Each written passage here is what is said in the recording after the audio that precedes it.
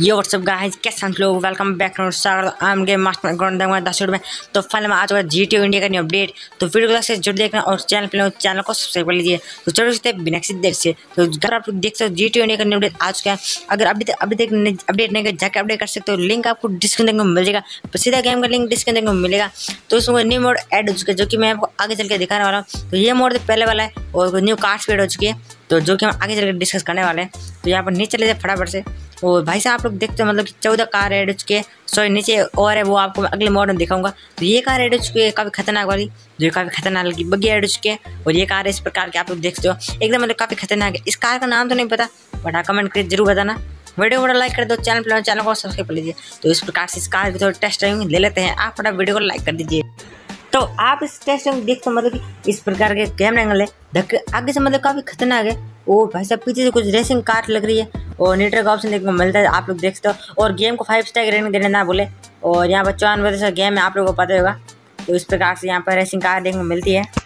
तो अभी भी ना किसी देर से दूसरे वाले मोड में चलते हैं। तो यहाँ पर दूसरा वाला मोड है, जो कि काफ़ी खतरनाक है, वो भी। तो उसमें हम सभी कार्स की डिटेलिंग बताता हूँ अभी आपको, जो कुछ इस प्रकार होने वाला है। यहाँ पर ओपन वर्ल्ड है। तो वो उस वाली सिटी है और ये ओपन वर्ल्ड है। तो उसमें फटाफट हम गाड़ी को ले जाना पड़ेगा नीचे। तो उसको नीचे ले जाते फटाफट से। फिर मिलता है वापस में आपको नीचे ले जाने के बाद गाड़ी को फटाफट नीचे ले जाते क्योंकि बहुत लंबा टूर होने वाला है, जैसे कि आप लोगों को पता ही होगा। तो अभी हम आ चुके नीचे। One two three four five six seven eight nine ten eleven twelve अरे नीचे हो रहा है।